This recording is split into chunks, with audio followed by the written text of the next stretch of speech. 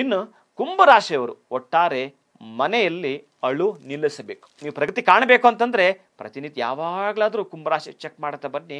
ನೀವು ಮಂಗಳವಾರವೋ ಅಥವಾ ಶುಕ್ರವಾರವೋ ಏನೋ ಒಂದು ಸಣ್ಣ ಕಾರಣ ಇಟ್ಕೊಂಡು ಹತ್ತು ಬಿಡ್ತೀರಿ. ಅದನ್ನು ಮಾಡಬೇಡಿ.